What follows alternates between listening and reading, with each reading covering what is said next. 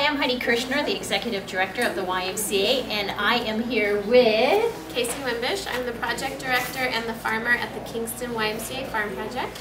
And I'm Susan Harrop, Education Director of the Kingston YMCA Farm Project.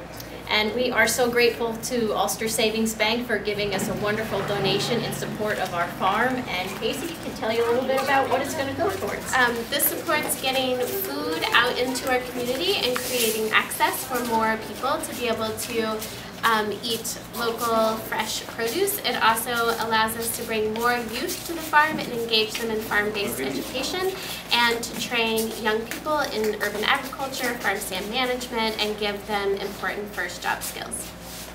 It's quite a mouthful. so thanks so much Ulster Savings Bank. We really appreciate it.